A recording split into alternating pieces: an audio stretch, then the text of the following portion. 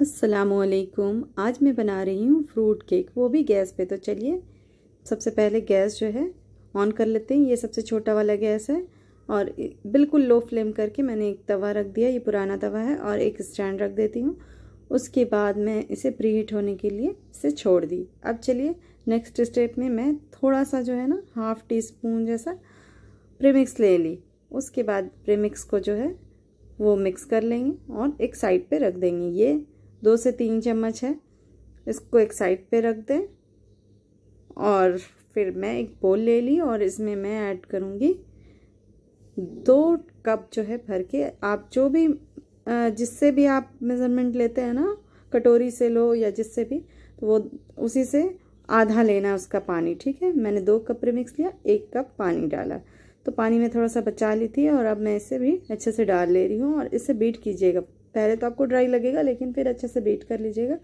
तो ये आपका जो है स्मूथ जो है ये बैटर बन के तैयार हो जाएगा। देखिए कितना स्मूथ है। तो ये मैंने अच्छे से बीट कर लिया। मैं बीटर से नहीं बीट कर रही हूँ विस्क से कर रही हूँ, ताकि जिनके पास नहीं है, उनके लिए मसला ना हो, ठीक है? तो अब इस, ये अच्छे से बीट हो गया। मैं इसमें ऑयल डाल रही हूँ।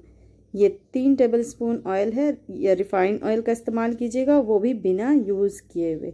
मस्टर्ड ऑयल नहीं डालना है। ये इमल्शन था मेरे पास तो ये हाफ़ टी स्पून मैं ऐड की।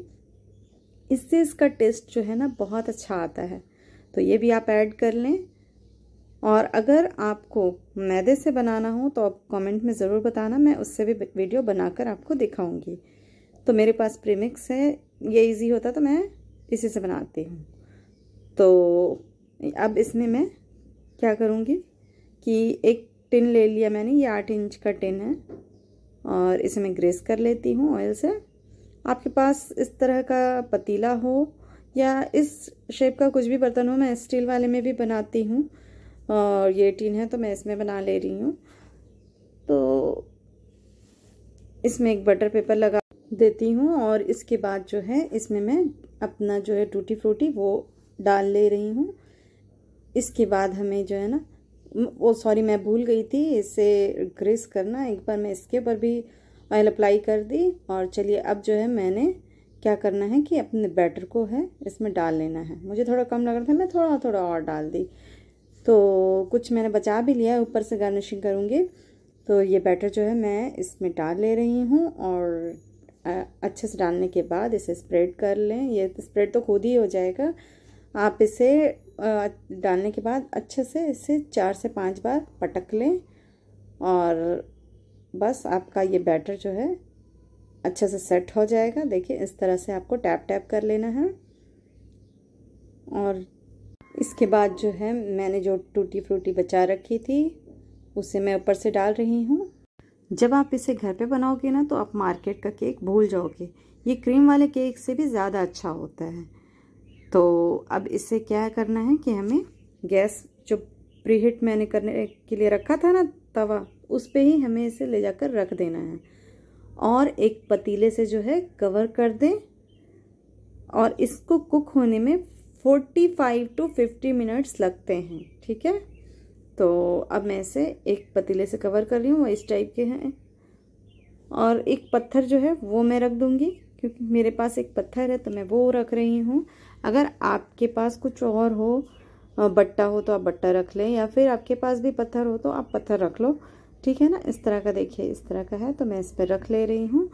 और ये बट्टा है, आप इस तरह का भी आप यूज़ कर सकते हो, ठीक है? तो अब जो है, ये forty five to fifty minutes हो चुके हैं इसे बेक होते हुए। तो अब चलिए पत्थर हटा के चेक कर लेती हूँ और आपको दिखाती हूँ ये केक कैसे बने हैं।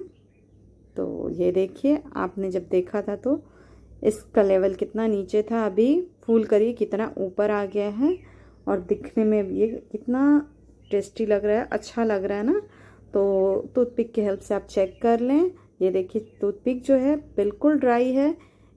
इसमें जो है वो बैटर नहीं आया है तो ये इससे ही पता चलता है हमारा केक जो है बेक हो चुका है।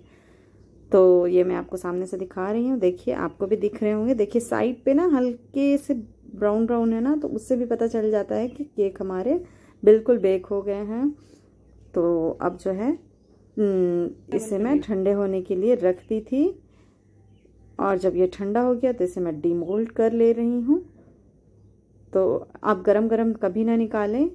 आप ठंडे होने पर ही डिमोल्ड करें और अब मैं बटर पेपर इसका रिमूव कर दी और ये देखिए, ये कितना स्पॉन्जी बना है।